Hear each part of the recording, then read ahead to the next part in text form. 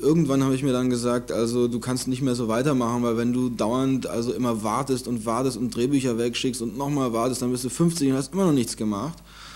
Und dann habe ich gesagt, ich muss mir jetzt eine Kamera kaufen und einfach anfangen. Und dann bin ich auf den Flohmarkt gegangen, hier auf den Polenmarkt und habe mir eine Super 8 Kamera für 80 Mark gekauft und habe gestartet, bin gestartet damit und habe natürlich am Anfang alles falsch gemacht.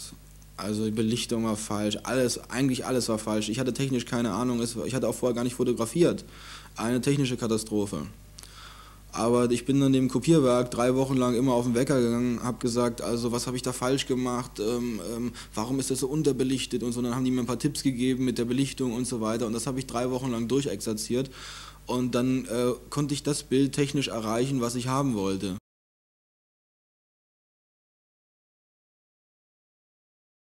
Also der erste Film hat ganz äh, knapp gesagt, wir haben natürlich niemanden bezahlen können. Äh, der erste Film hat ähm, reine Herstellungskosten waren 5000 Mark. Also für einen abendfüllenden Spielfilm praktisch auf Super 8 und dann aufgeblasen auf 16 mm. Ähm, die Sache war aber die, wir konnten das eigentlich nur machen, also wir wären schon, bald hätten wir kein Geld mehr gehabt, wenn nicht meine Oma in der DDR gestorben wäre damals, weil auch Super 8 Film war sehr teuer und nach drei Wochen hatten wir eben kein Geld mehr. Und dann ist wie gesagt diese Oma gestorben und die hat mir ein Bankkonto hinterlassen mit Ostgeld. Damals stand die Mauer noch und mit Ostgeld konnte man eigentlich gar nichts anfangen. Bloß dann haben wir herausbekommen, dass man also eben im Osten auch russischen Rohfilm kaufen kann. Und damit haben wir dann, also wir haben das Bankkonto geplündert von meiner Oma und haben eben diesen russischen Rohfilm gekauft und haben den in Friedrichstraße über die Grenze geschmuggelt. Und eigentlich nur durch, diesen, durch dieses Bankkonto der Oma konnten wir überhaupt den Film fertig machen, weil wir uns sonst das Material gar nicht hätten leisten können.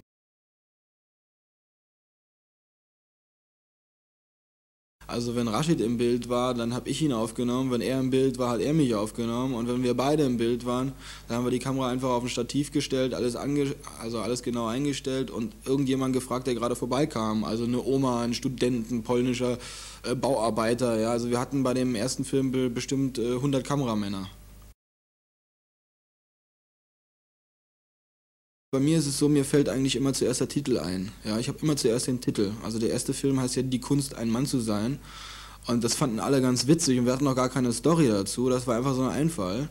Und also ganz langsam, das hat ungefähr ein Jahr gedauert, bis ich dann wirklich eine Story zum Titel hatte. Genauso war es beim zweiten Film. Da war auch, es war sofort da der Titel Der König von Kreuzberg. Äh, weil ich meine, Kreuzberg verbindet man normalerweise nicht mit Adel oder Aristokratie. Was mich am Film interessiert, ist, wenn er die Illusion erweckt, dass das, was da jetzt passiert, real ist. Ja? Dann interessiert mich der Film. Und ähm, deshalb interessieren mich eigentlich auch nur Filme, die eben diesen autobiografischen Touch haben. Also ich habe gerne Filme, wo ich merke, derjenige, der den gemacht hat, der ist da auch wirklich drin, das ist der. Und genau so ist es in, den, in beiden Filmen. Also das sind wir.